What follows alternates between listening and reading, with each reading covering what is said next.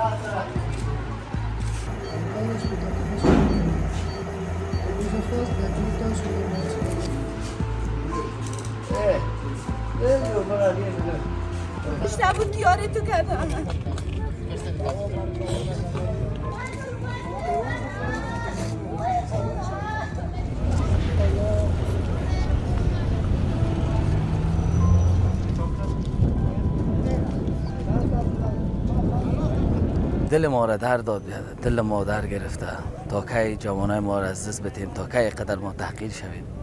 واقعا ادریس جان یک زایه بزرگ از بکل ما